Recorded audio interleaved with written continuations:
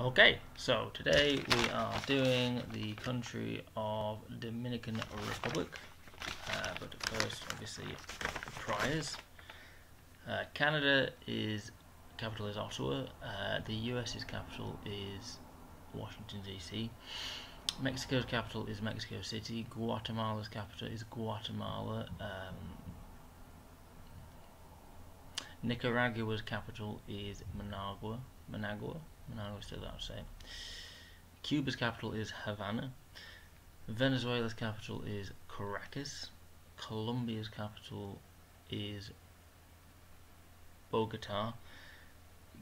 Guyana's Guyana's capital is uh, Georgetown. Costa Rica's capital is uh, oh um oh come on mate. Think.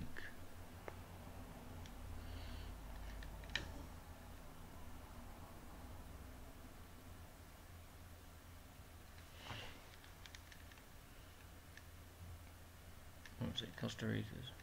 Yeah.